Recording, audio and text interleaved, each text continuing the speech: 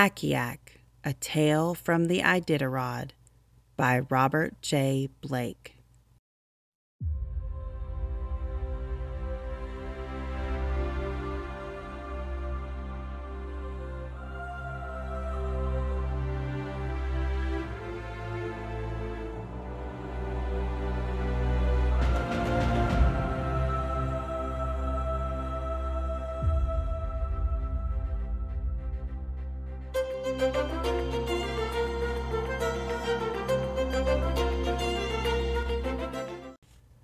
Day one. Akiak knew it. The other dogs knew it too. Some had run it many times, and others had never run it at all, but not a dog wanted to be left behind. It was Iditarod Race Day, 1,151 miles of wind, snow, and rugged trail lay ahead, from Anchorage to Nome. Akiak had led the team through seven races and knew the trail better than any dog. She'd brought them in fifth, third, and second, but had never won. She was 10 years old now. This was her last chance. Now they must win, now. Crack! The race was underway. One by one, 58 teams took off for Nome. Day two. Come on, old girl, show 'em how, Mick called. Ha! Mick worked the 16 dog team through Akiak, calling Haw when she needed the dogs to turn left and Gee to go right. Mick was the musher, but the team followed the lead dog. The team followed Akiak. Through steep climbs and dangerous descents, icy waters and confusing trails, Akiak always found the safest and fastest way. She never got lost. Day three. Akiak and Squinty, Big Boy and Flinty, Roscoe, and the rest of the team pounded across the snow for three days. The dogs were ready to break out, but Mick held them back. There was a right time, but not yet. High in the Alaskan range, they caught up to Willie Ketchum in third place. It was his team that had beaten them by just one minute last year. Following the rules, Willie pulled over and allowed Mick's team to pass. That old dog will never make it, he laughed at Akiak across the biting wind.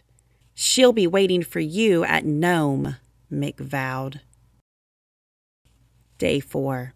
High in the Kuskokwim Mountains, they passed tall Tim Brunzi's team and moved into second place. Just after Takotna, Mick's team made its move. They raced by Whistling Perry's team to take over first place. Ketchum made his move too. His team clung to Mick's like a shadow. Akiak and her team now had to break trail through deep snow. It was tough going. By the Ophir checkpoint, Akiak was limping. The deep snow had jammed up one of her paw pads and made it sore. Mick tended to her as Ketchum raced by and took first place from them. You can't run on that paw, old girl, Mick said to her. With a day's rest, it'll heal, but the team can't wait here a day. We've got to go on without you. You'll be flown home. Roscoe took Akiak's place at the lead. Day 5. By morning, most of the other dog teams had passed through the Ophir checkpoint. The wind was building, and the pilot was in a hurry to leave. Akiak tore at the leash as the volunteer brought her to the airplane. Get that dog in, the pilot hollered. I want to get out of here before the storm hits. Akiak jumped and pulled and snapped. All she wanted was to get back on the trail, to run, to win. Then all at once the wind gusted and the plane shifted, and Akiak twisted out of the handler's grip. By the time they turned around, she was gone. Day six. Akiak ran while the storm became a blizzard. She knew that Mick and the team were somewhere ahead of her. The wind took away the scent, and the snow took away the trail. But still, she knew the way. She ran and she ran until the blizzard became a whiteout. Then she could run no more. While Mick and the team took refuge in Galena, seven hours ahead, Akiak burrowed into a snowdrift to wait out the storm. In the morning, the mound of snow came alive and out pushed Akiak. Day 7. Word had gone out that Akiak was loose. Trail volunteers knew that an experienced lead dog would stick to the trail. They knew she'd have to come through Unalakleet. She did. Six hours after Mick and the team had left, Akiak padded softly, cautiously into the checkpoint. Her ears alert, her wet nose sniffed the air. The team had been there, she could tell. Suddenly, cabin doors flew open. Five volunteers fanned out and tried to grab her. Akiak zigged around their every zag and took off down the trail. Call ahead to Shaktoolik, a man shouted. Day 8. At Shaktoolik, Mick dropped two more dogs and raced out, still six hours ahead of Akiak. Hungry now, it had been two days since she had eaten. Akiak pounded over the packed trail.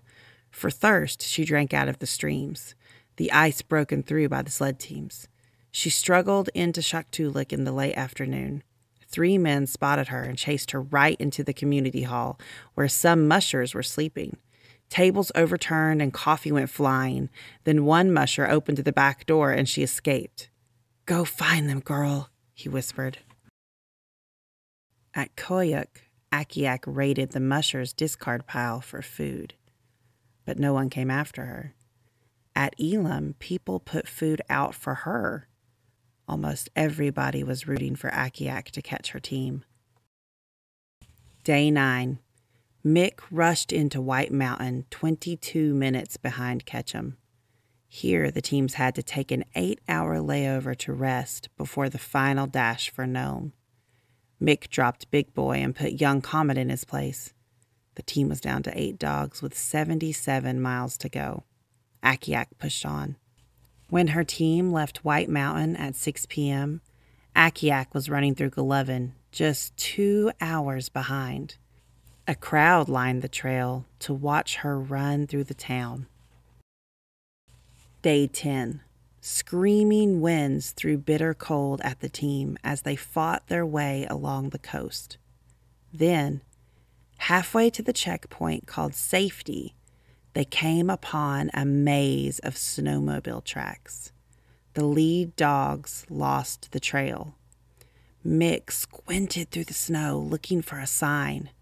There, going right, she recognized Ketchum's trail. Gee, she called. Gee, go right. But the dogs wouldn't go. They wandered about, tangling up the lines. Mick straightened them out and worked the team up the hill. At the top, they stopped short. Something was blocking the trail. Akiak! Mick called. She ran to her usual spot at the harness, waiting to be hooked in. Sorry, old girl. Mick hugged her. Rules say I can't put you back in the harness. Get in the sled. But instead, Akiak circled the lead dogs, pushing them and barking. What is it, girl? Mick asked. Akiak ran back down the hill. Mick laughed. Ketchum's team had taken the wrong trail. She turned her team around and rushed them down to Akiak, who jumped into the sled. Take us to Nome, Mick called to her. Mick first heard the noise a mile outside of Nome. At first, she wasn't sure what it was. It grew so loud that she couldn't hear the dogs. It was a roar or a rumble. She was so tired after 10 days of mushing, she couldn't tell which. Then she saw the crowd and she heard their cheers.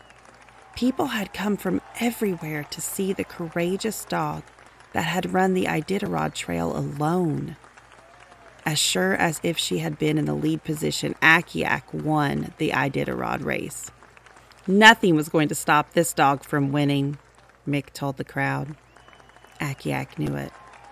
The other dogs knew it too.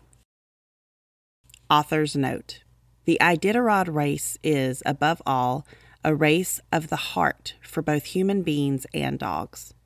As with any race, however, the Iditarod has rules to ensure fairness and safety for the mushers and the dogs.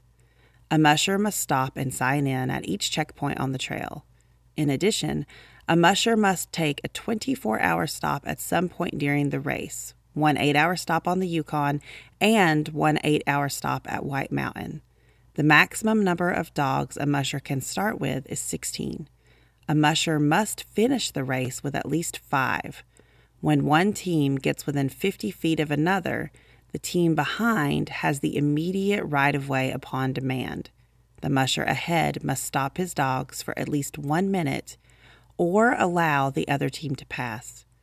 An injured, sick, or fatigued dog may be dropped at a designated dog drop and flown back to Anchorage to be picked up and taken home.